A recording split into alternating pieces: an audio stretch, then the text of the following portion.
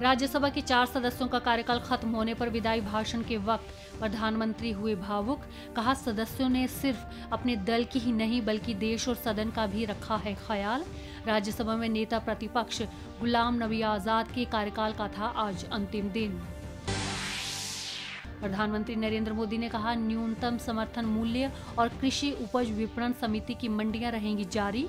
नए कृषि कानूनों से देश के छोटे और बहुत छोटे किसानों का होगा विकास। प्रधानमंत्री मोदी और अफ़गानिस्तान के राष्ट्रपति अशरफ गनी के बीच हुई वर्चुअल बैठक। शहतूत डैम को लेकर दोनों देशों के बीच हुआ समझौता। भारत ने अफ़गानिस्तान में इस प्रोजेक्ट के अलावा 80 लाख डॉलर की लागत के प्रोजेक्ट भी तैयार करने की अपनी प्रतिबद्धता दोहराई। उत्तराखंड के चमोली ज़िले में तपोवन सुरंग में फंसे श्रमिकों को बचाने के लिए व्यापक खोज और बचाव कार्य जारी। इस बाढ़ में एक सौ सत्तानवे श्रमिक हैं लापता। बचाव दल में अब तक छप्पन शव निकाले बाहर। सुरंग में फंसे 12 व्यक्तियों को सुरक्षित बचाया। दिल्ली पुलिस के विशेष सेल ने 26 जनवरी को किसानों की ट्रैक्टर रैली के दौरान हिंसा भड़काने के मामले में अभियुक्त दीप सिद्धू को किया गिरफ़्तार।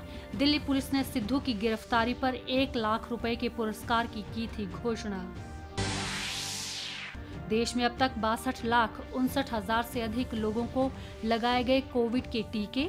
वहीं देश में कोविड से स्वस्थ होने की दर हुई सत्तानवे दशमलव दो पाँच प्रतिशत। फ़िल्म अभिनेता राजीव कपूर का अट्ठावन साल की उम्र में मुंबई में हुआ निधन।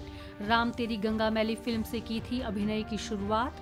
राज कपूर के सबसे छोटे बेटे और ऋषि कपूर के थे छोटे भाई। मोरक्को के शहर तंजीर में भारी वर्षा के बाद आई बाढ़ में एक कपड़ा फैक्ट्री में पानी भरने से कम से कम 28 मजदूरों की हुई मौत। म्यांमार में सैन्य सरकार के खिलाफ विरोध प्रदर्शन आज भी जारी।